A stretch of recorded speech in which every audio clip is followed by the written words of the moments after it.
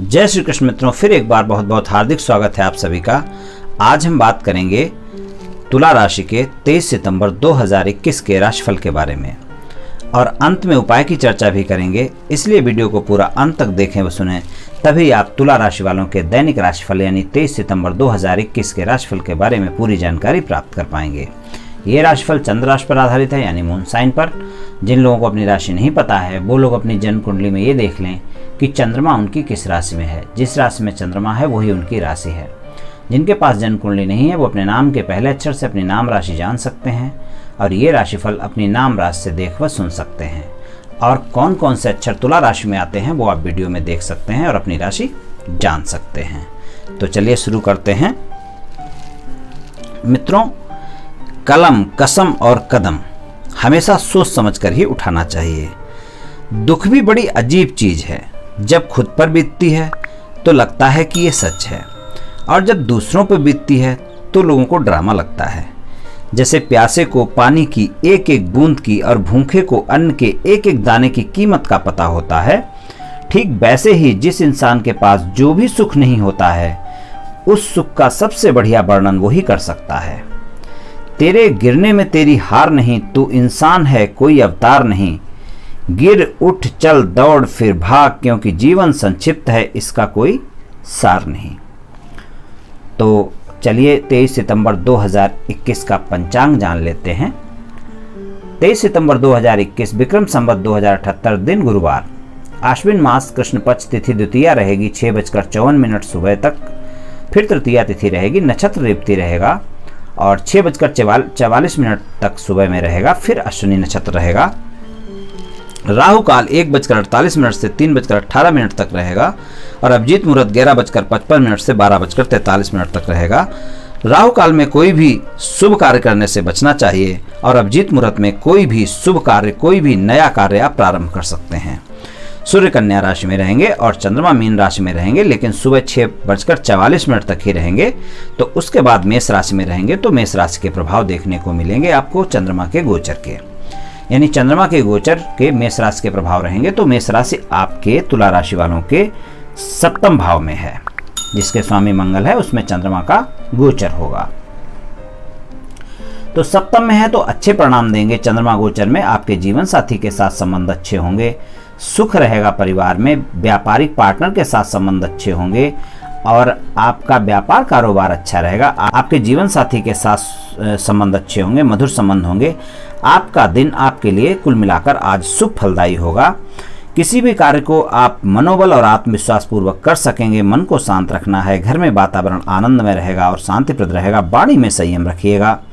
जो लोग कलाकार हैं, उनके लिए आज का दिन ज़्यादा शुभ है, उनके कार्य अच्छे से संपन्न हो सकेंगे।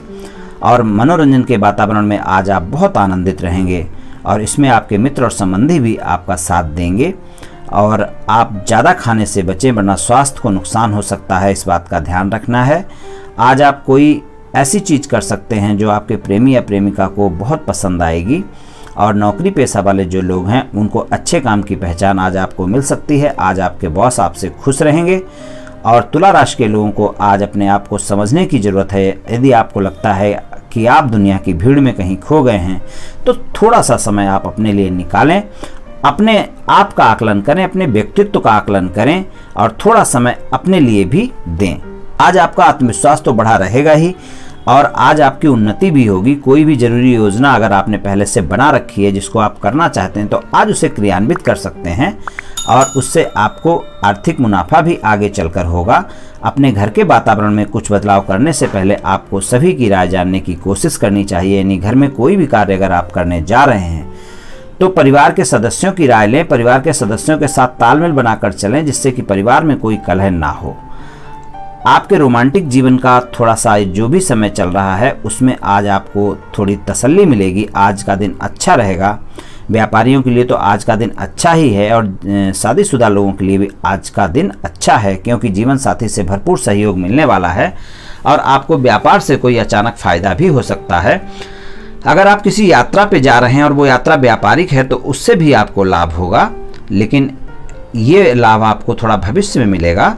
और आपके प्रियजनों से मुलाकात और एक सफल व्यापार का सपना आज आपका पूरा होने वाला है। अगर आप व्यापारी हैं तो बस खुद पर विश्वास बनाए रखें और बड़ा सोचें क्योंकि आपके विचारों का आपके जीवन पर बहुत प्रभाव पड़ता है।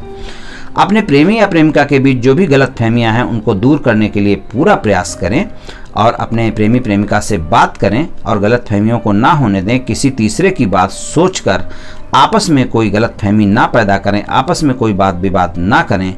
लोगों की सोच आप नहीं बदल सकते, लेकिन आप खुद तो बदल सकते हैं।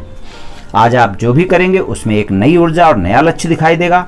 आपकी बातचीत का स्तर भी बेहतर रहेगा, और आप ऐसे किसी व्यक्ति से मिल सकते हैं जो आपकी ज़िंदगी को धर्म के मामले में थोड़ा आगे ले जाने की कोशिश करेगा, और आप आध्यात्मिक रूप से काफ़ी प्रभावित होंगे उस व्यक्ति से। आप खुद को ज़्यादा अच्छे से समझ पाएँगे आज के दिन। आप आज ऊर्जा से भरे रहेंगे और आपको खुद को बेहतरीन तरीके से समझना होगा, लेकिन स्वास्थ्य का ध्यान रखना होगा। वैसे आज के दिन आपका स्वास्थ्य अच्छा रहेगा, लेकिन अगर थोड़ी बहुत छोटी मोटी कोई समस्या है तो उस पर ध्यान दें, स्वस्थ दिनचर्या अपनाएँ, योग प्राणायाम करें, अपने खाने पीने का ध्यान रखें तला भुना भोज पदार्थ ना खाएँ, बाहर का खाना खाने से बचें, इन बातों का ध्यान रखें। और धन के मामले में आज अच्छा रहेगा, विद्यार्थियों के लिए भी दिन आज का अच्छा है। अगर कोई एग्ज़ाम वगैरह आज के दिन दे रहे हैं तो अगर मेहनत से आपने तैयारी की है तो आज सफलता आपको मिल सकती है। आज आप अपनी और अपने परिजनों की सेहत का थोड़ा सा ध्यान रखेंगे, जैसा मैंने पहले बोला है, लेकिन ज़्यादा कोई दिक्कत वाली बात नहीं है।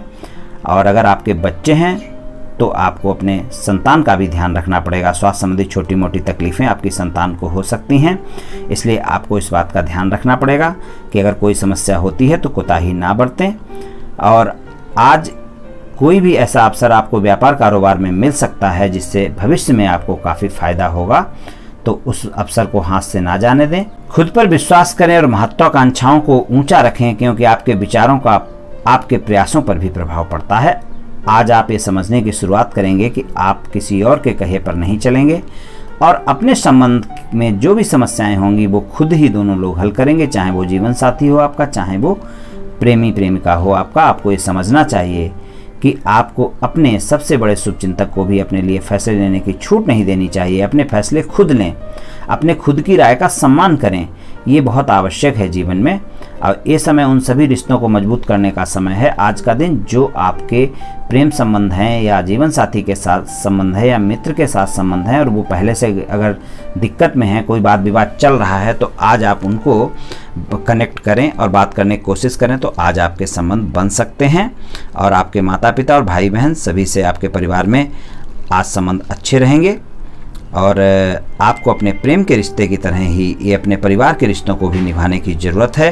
खास लोगों के साथ रहना और कार्यस्थल में अपने सहयोगियों के साथ चलना ये बहुत आवश्यक है आपके लिए। आप ईमानदार हैं और दृढ़ हैं। आज आप जो भी सोचेंगे वो पूरा होगा और आपका मार्गदर्शन भी आज करने के लिए कोई बड़ा व्यक्ति आज आपके साथ मिलेगा जो आपको मार्गदर्शन करेगा। अपने जीवन का ये दौर आपको कुछ, कई सारे अनुभव देकर जाने वाला है। उपाय की बात करें तो सफ़ेद वस्तुओं का दान करना शुक्रवार वाले दिन तुला राशि वालों के लिए बहुत अच्छा रहता है।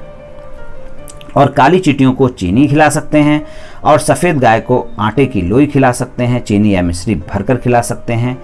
इनमें से जो भी उपाय आपको आसान लगे आप कर सकते हैं, आपको निश्चित ही लाभ मिलेगा। तो मित्रों, आज मैंने आपको तुला राशि वालों का 23 सितंबर 2021 के राशिफल के बारे में कुछ चर्चा की। ये राशिफल सामान्य राशिफल है, सभी जातकों पर पूर्ण रूप से प्रभावी होगा, ऐसा बिल्कुल भी संभव नहीं है। क्योंकि आपकी जन्म कुंडली में ग्रहों की स्थिति और आपकी वर्तमान दशा और अंतरदशा और फिर ग्रहों के गोचर की स्थिति, इन सभी पर बहुत कुछ निर्भर करता है। आप सभी स्वस्थ रहें, आयुष्मान रहें, धनवान रहें, ऐसी मेरी श्री कृष्ण भगवान से प्रार्थना है। जय श्री कृष्ण